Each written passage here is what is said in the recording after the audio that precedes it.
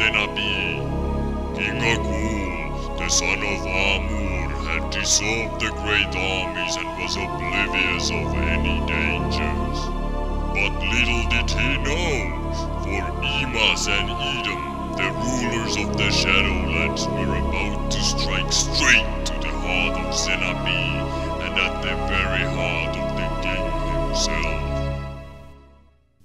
legend of humiliation was about to begin.